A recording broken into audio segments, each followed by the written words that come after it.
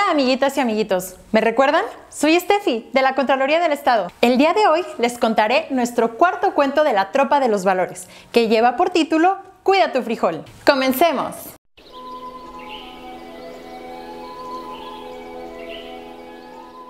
Como todas las mañanas, Beto se despertó muy temprano para ir a la escuela. Después de saludar a sus amigos, entró a su salón de clases. Atrás de él llegó su maestra. Tenía una cara muy molesta y tenía motivos de sentirse así, ya que había tiempo que muchos de sus alumnos no entregaban las tareas. La maestra dijo, Buenos días, el día de hoy vendrá el director para hablar con ustedes, ya que todos los días les he pedido que hagan sus tareas y los he motivado de una u otra forma y así no he logrado nada, ya que son muy pocos los que entregan sus tareas, como Beto. Jamás ha fallado con alguna. Sé que todos pueden realizar todo lo que se propongan, pero la mayoría de veces prefieren prestarle atención a la televisión, videojuegos, juguetes, teléfono, entre otras cosas. Y como no han hecho caso a lo que he dicho, tuve que hablar con el director para que platique con ustedes. De hoy en adelante seré más exigente con ustedes. Algún día se darán cuenta que lo que les he dicho es por su bien. Así que cuando termine el recreo, quiero que todos regresen rápidamente y tomen asiento para que cuando llegue el director los encuentre en sus lugares. En ese momento sonó la campana y los alumnos salieron al recreo. Los integrantes de la tropa salieron al recreo y se sentaron en círculo para tomar su refrigerio. Comenzaron a platicar de lo dicho por la maestra de Beto. María inició. Creo que la maestra tiene mucha razón de enojarse, pues es que no hacen su tarea. Luna reaccionó. Uy, y eso que les dan oportunidad de entregarla al siguiente día. Y así no la entregan. Javier respondió. Ya sé, no sé cómo no pueden entregarla. Con mi maestro es muy distinto. Él es muy estricto. Si no entregas en tiempo y forma, te baja la calificación. Beto dijo, tenemos que hacer algo para que mis compañeros entiendan la importancia de la responsabilidad. Debemos hablar hoy con Max para ver qué nos recomienda. María comentó, sí, nos vemos hoy en la casa del árbol. Me encantaría tener una misión más. Todos entraron a su salón cuando el recreo se terminó. A los minutos, el director llegó al salón de Beto y les dijo, se realizará una junta especial con los padres de los niños que no cumplen con sus tareas, para así llegar a una solución. Pasó el día y por fin los chicos se reunieron con Max en la casa del árbol.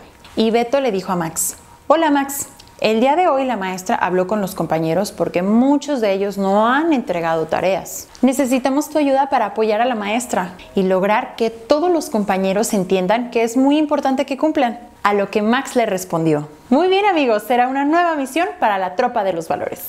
Ustedes y sus compañeros deben comprender que a esta edad su responsabilidad es cumplir con los deberes de la escuela. Al ir creciendo, esas responsabilidades van aumentando, como sus padres, que ahora deben trabajar, como las plantas, que deben tener un cuidado para que puedan crecer y florecer. Tengo una idea. Hagamos un experimento que se llama germinación del frijol. Ustedes y sus compañeros pueden hacerlo y serían los responsables de que esa planta crezca.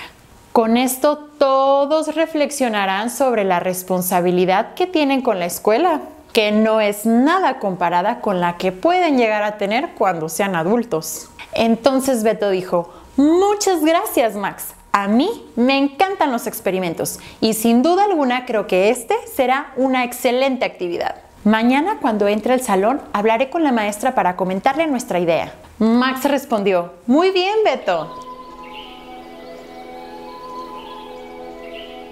Al día siguiente, Beto se acercó con la maestra para comentarle sobre la idea que tenía. A la maestra le agradó la idea. Sabía que con esta actividad los niños podrían entender lo importante que es ser responsable. Por tal motivo, la maestra les dio la indicación. Debían conformar equipos de tres integrantes. Esto para realizar la germinación de un frijol.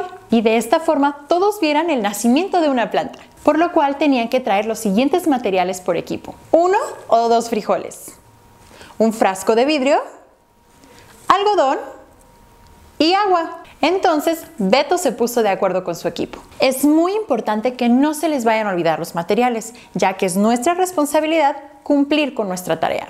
Así que si no traemos algo, no podremos realizar el experimento en clase. Al día siguiente, Beto estaba muy emocionado. Llegando a la escuela, corrió rápidamente a buscar a José y a Ana para estar completamente seguros de que tenían todo el material que iban a necesitar.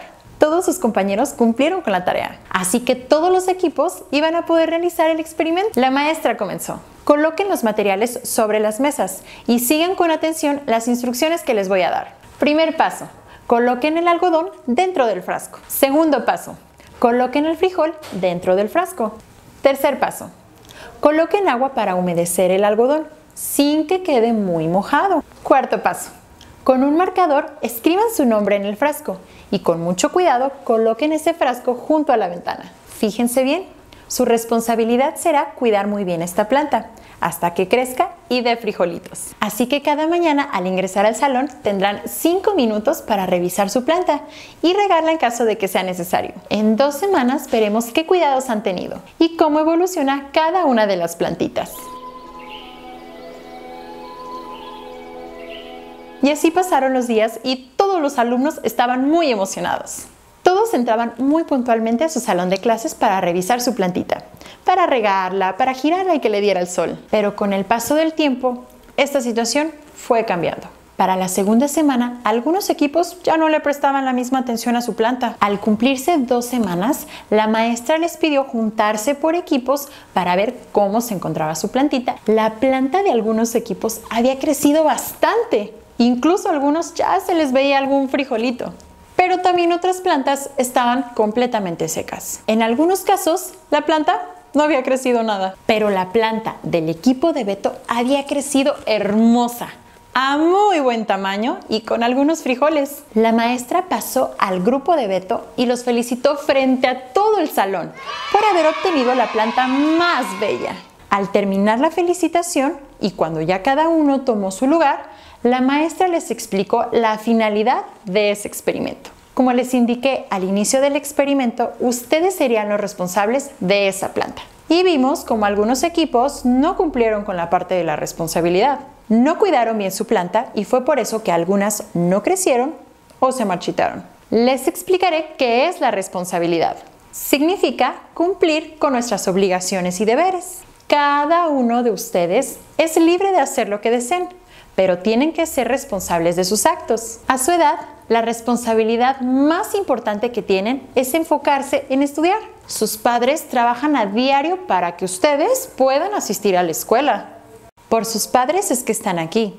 Ustedes no tienen la obligación de trabajar. Su familia se encarga de los gastos de la casa, de la comida, de la escuela, para que ustedes solo se dediquen a estudiar. Sin duda alguna, tienen derecho a jugar, siempre y cuando cumplan con sus obligaciones como su tarea. Con el experimento nos pudimos dar cuenta que si no cumplimos con nuestras responsabilidades, no podremos lograr lo que nos propongamos o lo que deseamos. Estas palabras se las digo no para regañarlos. Como mis alumnos, los quiero y deseo lo mejor para ustedes. Los alumnos se quedaron callados al oír las palabras de la maestra. Después de eso, el silencio se apoderó del salón de clases, hasta que sonó la campana del recreo. Al salir al recreo, varios de los compañeros se sentaron juntos para desayunar y comenzaron a platicar respecto a lo que les había dicho su maestra. Juntos llegaron a la conclusión de que la maestra tenía mucha razón en lo que les había dicho y por eso iban a poner todo de su parte para poder cumplir con sus tareas siempre. Al escuchar esto, los integrantes de la tropa de los valores quedaron satisfechos con lo sucedido en la escuela. Fue tanta su alegría que por la tarde se reunieron en la casa del árbol para celebrar junto con Max. De este cuento aprendimos que de cumplir con nuestras obligaciones como las tareas siempre nos traerá cosas positivas, mientras que de no cumplirlos hace que nos perdamos de lograr nuestras metas o nuestros sueños o incluso ganarnos algún regaño por parte de nuestros padres o nuestros maestros. Así que ser responsables siempre nos traerá frutos. Te invito a que seas responsable como Beto, que muy dedicadamente cuidó de su planta. Si quieres tú practicar la responsabilidad, te invito a que realices el experimento que se te explicó en el cuento. Nos vemos en la siguiente aventura de la Tropa de los Valores. Hasta la próxima.